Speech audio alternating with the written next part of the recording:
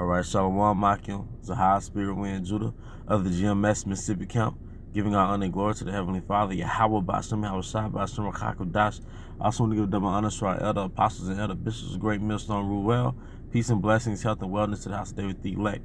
And what I want to go into today is a topic entitled, you know, making Yahawashi your hope. All right, making Yahawashi your hope. And I have on the, uh, the screen, all right, the book of Sirach 34 and 14 where it says, Whoso feareth the Lord shall not fear, nor be afraid, for he is his hope. All right. And ultimately, Yahawashi, of course, he has to be your hope. All right. But he has to be your crutch, man. All right. You know, something that I've learned in this truth and one of the that one of the challenges that comes along with being in this truth, especially over a, a, a prolonged period of time, is that you know we live in the flesh. Like we, we we're subject to these chains of darkness and you know you have stress right? You have bitterness. You have bitterness which comes from hope deferred all right? Hope delayed okay? And what happens is you resort to things that um comfort you man. Now there's nothing wrong with uh comfort food uh in moderation. There's nothing wrong with you know if you drink liquor you drink your liquor or your wine all right, there's nothing wrong with dealing with your woman. All right, but a temptation that can occur. All right, doing this, um, doing this truth, doing this path that we're in, is that you you're overly consumed in fleshly comforts. All right, and your Yahawashi gets choked out of it, man. He gets squeezed out of it. Okay. So, you know, one of the things that we have to do is that we have to make sure that this you know regardless of what we have going on, on on the side and despite our little vices that we have in our downtime that we partake in because we have to balance ourselves out all right? We can't just be all in the spirit without you know giving the flesh uh, a spoonful or two okay? But we can't replace your Shai all right with fleshly comforts man all right? Your Shai has to be our crutch man all right you going through it with your woman, well, your Yahawashi has to be a crutch. All right. You got a problem on a job, your Yahawashi has to be a crutch.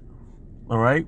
And it's a temptation, man, because it's just sick. It's easy to go in to the store and get some chips or or get some liquor, and there's, nothing wrong with get some liquor, but that can't replace your Yahawashi. You can't overly indulge in it to the point where you squeeze out your Yahawashi, man.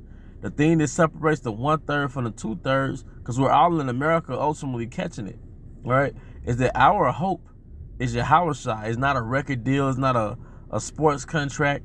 All right. It's not more sex or more money. All right. Which, you know, if the Lord gives you more money, then don't be over righteous and not take it. Take the money as long as it doesn't compromise your integrity. You see? That's what it's all about. But we can't let um carnality or in fleshly comforts squeeze out your Shai. All right. For the sake of coping all right, with this captivity, man. And this truth can be bitter, man. So, you know, it's one thing to be mad at a particular thing, but it's another thing to be mad and you don't even know why you're mad. You're sad and you don't even know why you're sad. You're mad at yourself because of your imperfections, all right? But your your your hope has to be in your Yahawashi. And it hurts to go a period of time and you've neglected wisdom, you've neglected Sophia, you've neglected to turn back to your, your power source. Because one thing the Most High does, one thing the Most High does, no matter what temptation he gives you, the truth is always there. The answer is right there. Whether it's inside your head because the scriptures are inside your head, or it's just inside your, inside the word, man. No matter what you go through, Satan's nature is the to trick you out of the fact that you have a power source, man. That's like a guy that's half your size, right?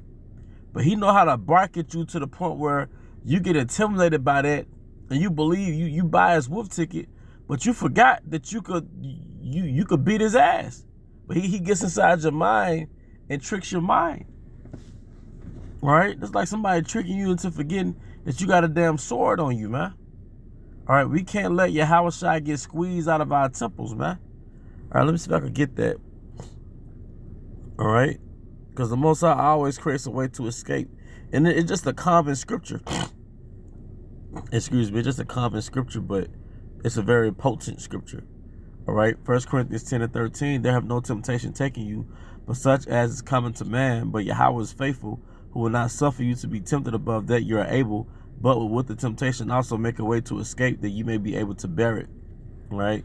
So I mean that's pretty much the point, brothers. All right. And, and sisters, the the few sisters sisters who are watching, man. You become a master at this thing, all right, when you start to apply the scriptures to handle your problems because a lot of your temptations is really the most high testing you to see if you're going to resort back to the word or you're going to resort to carnality, man. All right. But more pussy, more sex is not going to solve your problem. More money is not going to solve your problem. More liquor is not going to solve your problem because once you once you drink, a lot of times you wake up with a hangover. And then the happiness that you have when you're drinking, it doesn't last. All right, when you eat sweets, like a high resort to sweets, but now you got a, a tooth infection. All right, you deal with a woman, well now that woman comes with her own problems, man. All right, so carnality never really fixes your problems, man. But there's spiritual, there's spiritual remedy. All right, there's spiritual, those there's spiritual salve, there's those spiritual uh bombs. All right, that's that's what restores you and that's what builds your spirit up, man.